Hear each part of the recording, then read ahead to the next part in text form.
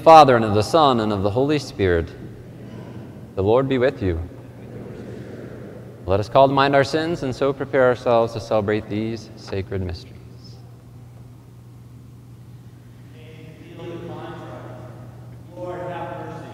Lord, have mercy.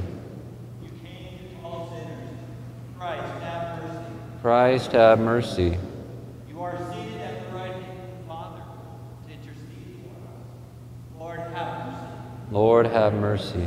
May Almighty God have mercy on us, forgive us our sins, and bring us to everlasting life.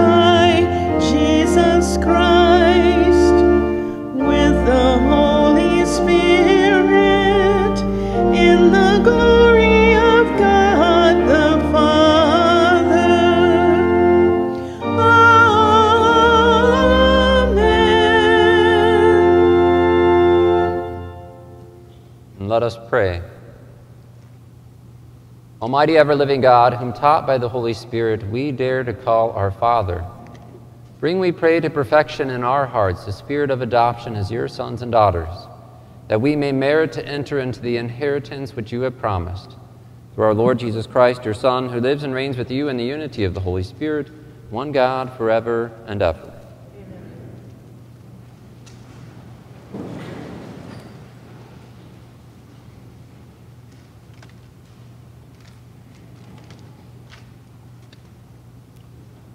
A reading from the first book of Kings.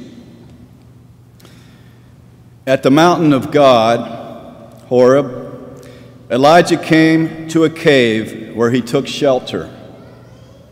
Then the Lord said to him, Go outside and stand on the mountain before the Lord. The Lord will be passing by. A strong and heavy wind was rending the mountains and crushing rocks before the Lord.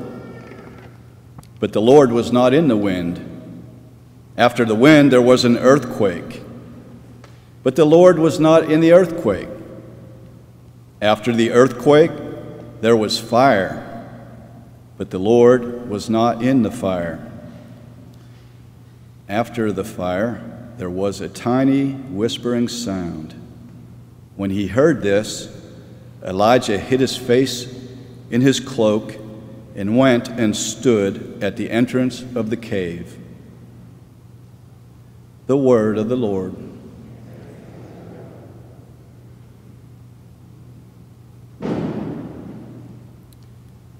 Lord, let us see your kindness and grant us your salvation.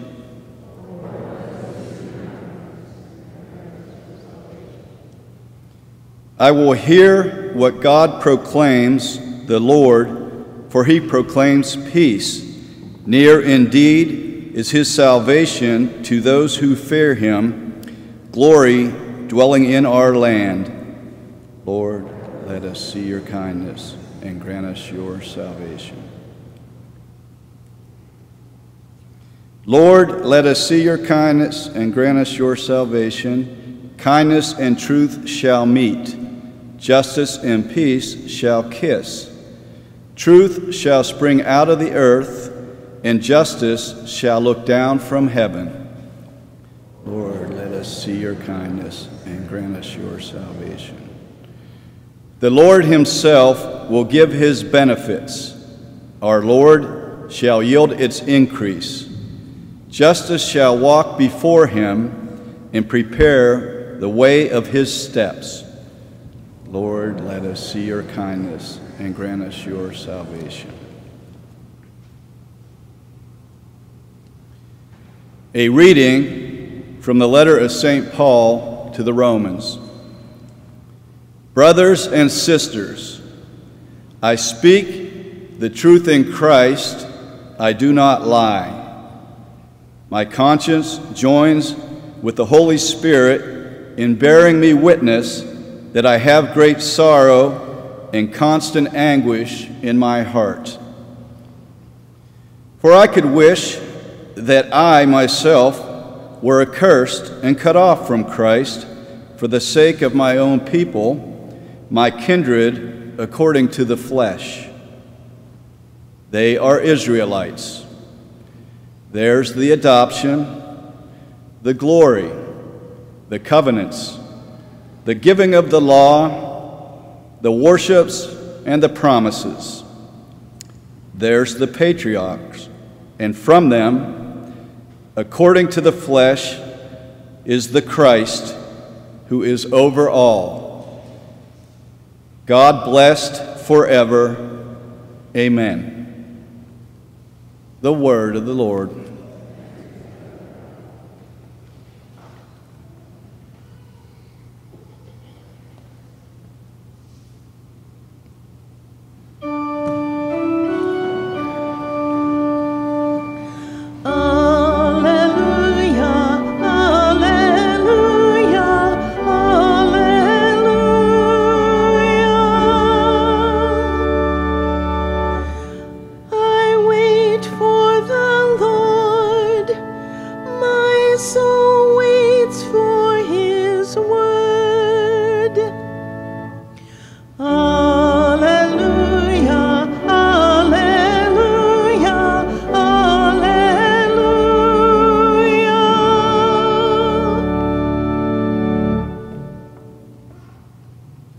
Lord be with you. A reading from the Holy Gospel according to Matthew. After he had fed the people, Jesus made the disciples get into a boat and precede him to the other side, while he dismissed the crowds. After doing so, he went up to the mountain by himself to pray. When it was evening, he was there alone. Meanwhile, the boat, already a few miles offshore, was being tossed about by the waves, for the wind was against it. During the fourth watch of the night, he came towards them walking on the sea. When the disciples saw him walking on the sea, they were terrified. It is a ghost, they said, and they cried out in fear. At once, Jesus spoke to them. Take courage, it is I. Do not be afraid. Peter said to him in reply, Lord, if it is you, command me to come to you on the water. He said, Come. Peter got out of the boat and began to walk on the water towards Jesus. But when he saw how strong the wind was, he became frightened and he began to sink. And he cried out, Lord, save me! Immediately, Jesus stretched out his hand and caught Peter and said to him, O you of little faith, why did you doubt?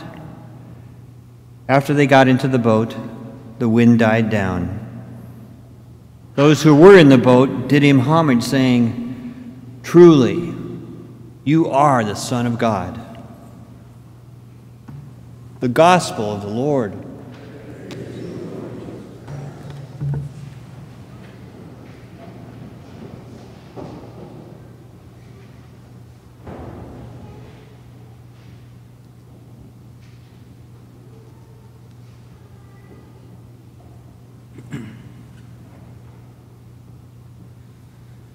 Well, what a perfect day for this gospel today. We are all walking on water as we come to church today. But as we gather, we again continue to slowly read through Matthew's gospel on these Sundays together. Last week, we heard about how Jesus, all he wanted was some time alone. He had heard about the death of John the Baptist and wanted to be alone and pray only to have thousands and thousands and thousands of people come to show up, to which he would perform that great miracle of multiplying the bread and the fish. So we follow immediately after that. The crowds are gone, he sends the apostles away, and he finally gets a chance to pray alone. Only in the end to have to interrupt his prayer to go and rescue those apostles trapped on the sea in the middle of this storm. I had the great privilege, before I was ordained a priest, to go and spend a little bit of time there in the Holy Land. I got to spend an entire week right there at the Sea of Galilee. I got to pray in the very spots where all the miracles happened, and few things really compare to reading Scripture in the very place where it happened. And one of those places is a little cave overlooking the Sea of Galilee, which is a place where it is believed Jesus spent that night in prayer in the middle of the storm, watching out as the apostles crossed the sea. On that trip, I remember very specifically trying to even walk on water at some point at the Sea of Galilee, but to no avail. I couldn't figure it out. we can be so familiar with this story, though, sometimes that we can easily fail to grasp how amazing this truly was. This was no story, this was a true event witnessed by people at a very real place at a very real time. Jesus truly walked on water. Even Peter truly walked on water. And many saw this and, and testified to it. This, of course, as we know, is completely against the laws of physics. It's impossible to do this. Yet Jesus is God. He's the one who wrote the laws of physics and can choose to obey them or not. And so, in many ways, this, this story gives us a little more of a glimpse into who this Jesus is, who this Jesus is that we get to receive each time we receive the Eucharist. But it's really our dear friend and apostle Peter who takes central focus for us today. We know that Peter obviously had this great love for Jesus.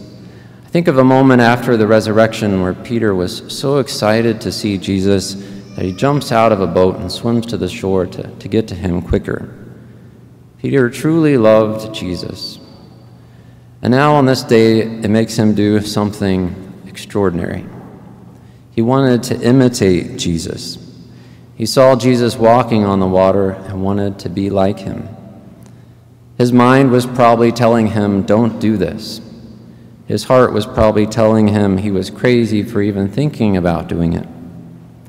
But he listened to none of these and let his faith and his love for Jesus guide him.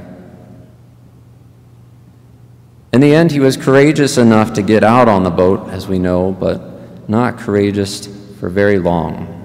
He very quickly got scared not because he was walking on water, which in itself is scary, but as the scriptures say, he was scared by the storm around him. which tells us for a brief moment he took his eyes off of Jesus. And it was then that he became scared and saw that the world around him was against him. And then he began to sink. It is then, of course, that he pleads for Jesus' help, and Jesus comes to his rescue. And as amazing of a story as this is, we can't just leave it on that level, because there are so many things about our own spiritual life that we can learn from this. I can keenly remember thinking of this gospel when I was in the process of trying to discern my own vocation in life. I was on my way to visit a religious order in New York City I had never been to New York City, and on top of that, I was going there all alone. I was nervous, thinking, what am I getting myself into? Yet I knew I had to at least get out of the boat and give it a try. And then, as soon as I got to the airport, everything began to go wrong. At some point, while I was going through the, the security check, someone stole a bag that I had taken with me. If that wasn't bad enough, it was a bag I had borrowed from my pastor, so I felt bad losing something of his. And then my flight got canceled, and the new flight, of course, many hours later, was into a different airport into New York City. I felt like I had begun to walk on water, but then very quickly began to sink. The trip, of course, ended up going just fine. It was a grace filled trip, but I couldn't help but think of Peter and ask, Is the Lord trying to test my faith? Maybe you've had similar experiences in your own life. Maybe it was starting a job or a new company, maybe growing your family or making that first big purchase in life. It's a huge step into the unknown, and maybe things didn't go smoothly. It becomes a test, a test of our faith.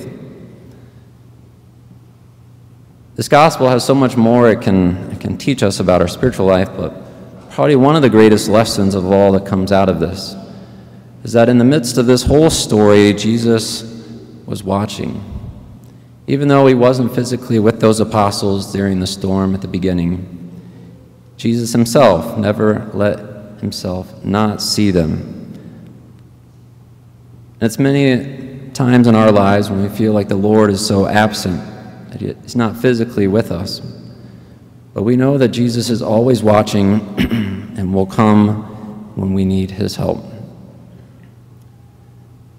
But to all of us today, I think Jesus is inviting us to walk on water with Peter, to not be discouraged by the crazy world around us, but to instead keep our eyes focused intensely on Him, and to put one more step, one more foot in front of the other Storms will always come in our lives and our world, but thankfully we know that storms don't last forever.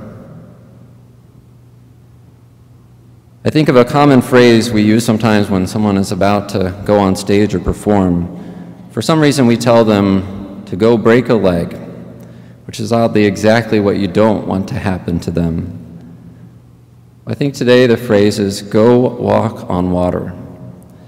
Maybe it's those moments where we have God calling us to do something extraordinary, we can encourage each other by saying, Go walk on water. Maybe someone is going through a great trial in their life and they can't see God present. You tell them, Go walk on water.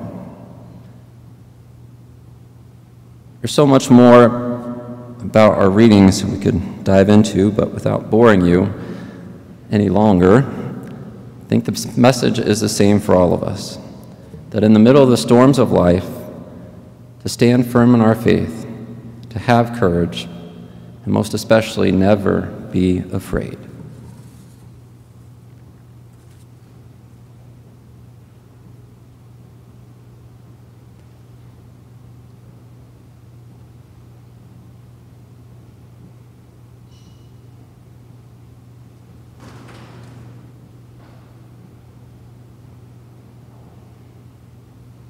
And now let us stand as together we profess that very faith we believe. I believe in one God, the Father Almighty, maker of heaven and earth, of all things visible and invisible. I believe in one Lord, Jesus Christ, the only begotten Son of God, born of the Father before all ages, God from God, light from light, true God from true God, begotten, not made, consubstantial with the Father. Through him all things were made. For us men and for our salvation, he came down from heaven, and by the Holy Spirit was incarnate to the Virgin Mary and became man. For our sake he was crucified under Pontius Pilate. He suffered death and was buried, and rose again on the third day in accordance with the Scriptures. He ascended into heaven and is seated at the right hand of the Father. He will come again in glory to judge the living and the dead, and his kingdom will have no end. I believe in the Holy Spirit, the Lord, the giver of life, who proceeds from the Father and the Son, who with the Father and the Son is adored and glorified, who has spoken through the prophets. I believe in one holy Catholic and Apostolic Church. I confess one baptism for the forgiveness of sins, and I look forward to the resurrection of the dead and the life of the world to come. Amen. And now let us offer to our eternal Father our prayers and petitions. For all those who are facing the storms of persecution, particularly the Christians in Asia, Africa, and the Middle East, that God will keep them safe and help them witness to the gospel faithfully. We pray to the Lord. Lord, hear our prayer. For greater civility in public discourses, that political leaders express their ideas and concerns thoughtfully and work to promote the common good of society. We pray to the Lord. Lord, hear our prayer.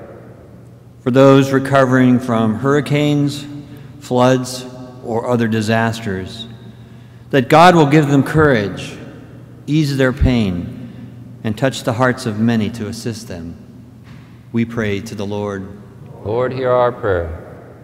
For all who are experiencing the storms of daily life, that they may keep their eyes and attention on Jesus, who strengthens us and calms our chaos. We pray to the Lord. Lord, hear our prayer. For all parishioners of Most Pure Heart of Mary, living and deceased, for whom this Mass is offered, we pray to the Lord. Lord, hear our prayer. For all those who have died, that they enjoy eternal life with Christ, risen from the dead, and reigning gloriously in heaven, and for the poor souls in purgatory, and for those who have no one to pray for them, we pray to the Lord. Lord, hear our prayer. Eternal Father, we do offer you these prayers and all those many prayers we hold in the silence of our hearts, asking you to graciously hear them all, through Christ our Lord.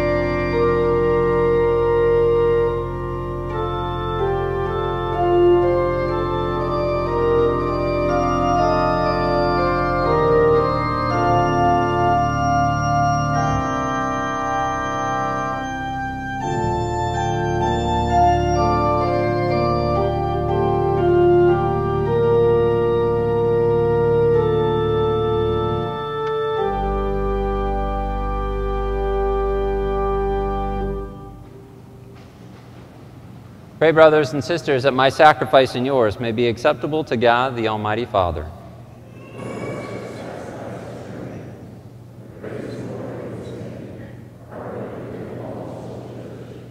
Be pleased, O Lord, to accept the offerings of your church, for in your mercy you have given them to be offered, and by your power you transform them into the mystery of our salvation, through Christ our Lord.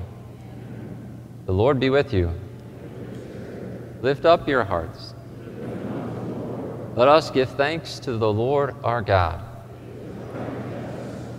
It is truly right and just, our duty and our salvation, always and everywhere to give you thanks, Lord, Holy Father, Almighty and eternal God, through Christ our Lord. For by his birth he brought renewal to humanity's fallen state, and by his suffering canceled out our sins. By his rising from the dead he has opened the way to eternal life, and by ascending to you, O Father, he has unlocked the gates of heaven. And so, with the company of angels and saints, we sing the hymn of your praise as without end we acclaim.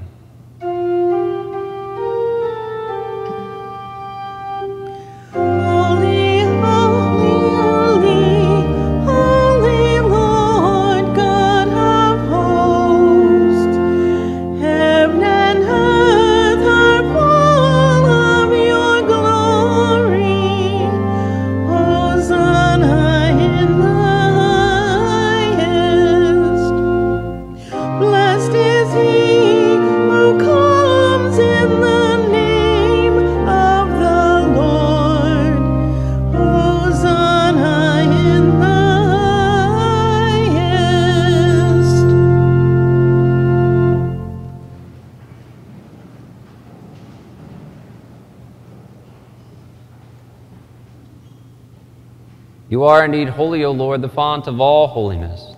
Make holy, therefore, these gifts, we pray, by sending down your Spirit upon them like the dewfall, so that they may become for us the body and blood of our Lord Jesus Christ. At the time he was betrayed and entered willingly into his passion, he took bread and giving thanks, broke it, and gave it to his disciples, saying, Take this, all of you, and eat of it, for this is my body, which will be given up for you.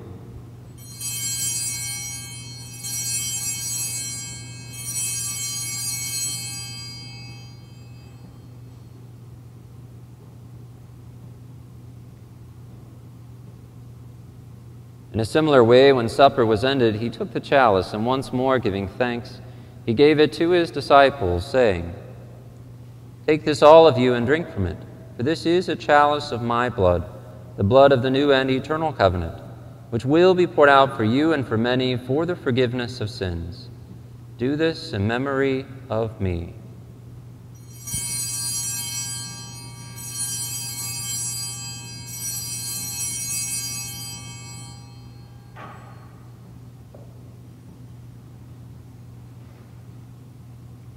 The mystery of faith.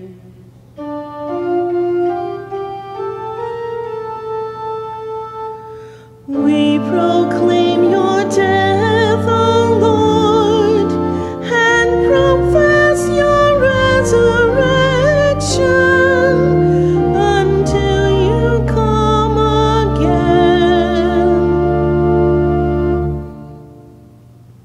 Therefore, as we celebrate the memorial of his death and resurrection, we offer you, Lord, the bread of life and the chalice of salvation, giving thanks that you have held us worthy to be in your presence and minister to you. Humbly we pray that partaking of the body and blood of Christ, we may be gathered into one by the Holy Spirit. Remember, Lord, your church spread throughout the world and bring her to the fullness of charity, together with Francis, our Pope, and Joseph, our Bishop, and all the clergy. Remember also our brothers and sisters who have fallen asleep in the hope of the resurrection, and all who have died in your mercy. Welcome them into the light of your face. Have mercy on us all, we pray, that with the Blessed Virgin Mary, Mother of God, with blessed Joseph, her spouse, with the blessed apostles, and all the saints who have pleased you throughout the ages, we may merit to be co heirs to eternal life and may praise and glorify you through your Son, Jesus Christ. Through him and with him and in him, O God Almighty Father, in the unity of the Holy Spirit, all glory and honor is yours forever and ever.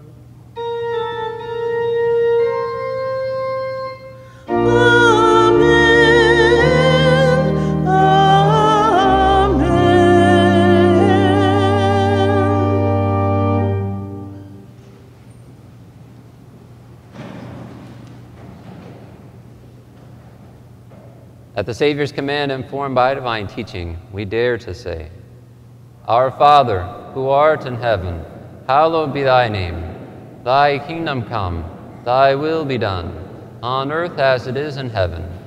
Give us this day our daily bread, and forgive us our trespasses, as we forgive those who trespass against us.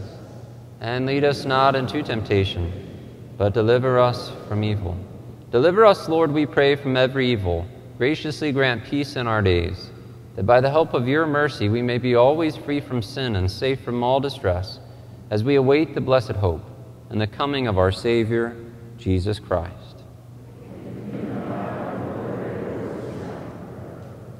Lord Jesus Christ, who said to your apostles, Peace I leave you, my peace I give you. Look not on our sins, but on the faith of your church, and graciously grant her peace and unity in accordance with your will, who live and reign forever and ever. Peace of the Lord be with you always.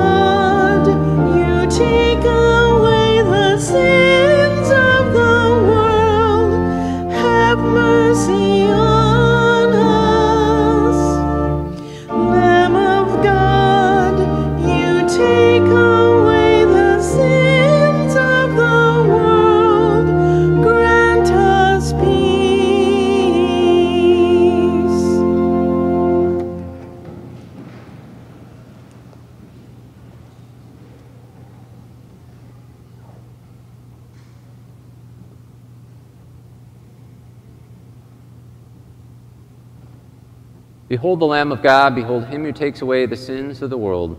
Blessed are those called to the supper of the Lamb. Lord, I am not worthy that you should enter under my roof, but only say the word, and my soul shall be.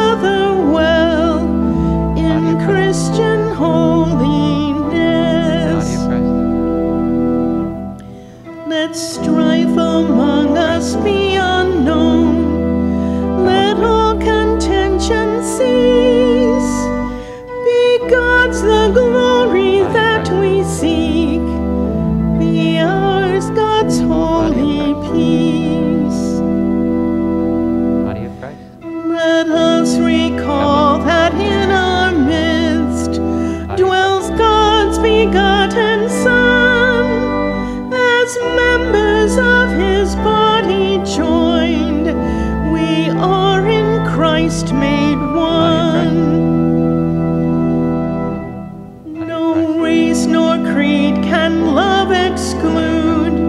If honored be God's name,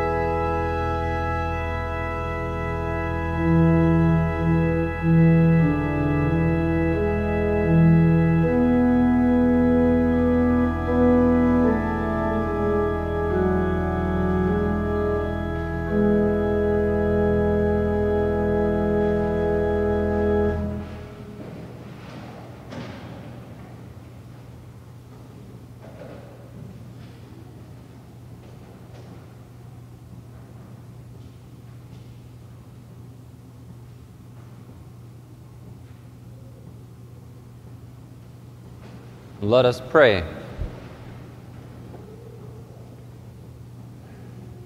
May the communion in your sacrament that we have consumed save us, O Lord, and confirm us in the light of your truth. Through Christ our Lord. Just a regular announcement for Mass today. If you want to help clean the pews after Mass, please go to the west entrance. I don't think our pews will ever have been as clean as they are uh, in these past few months. So thank you for all, all those who help. And now you get to go walk on water as you leave today. The Lord be with you. May Almighty God bless you, the Father, and the Son, and the Holy Spirit. Thanks be to God.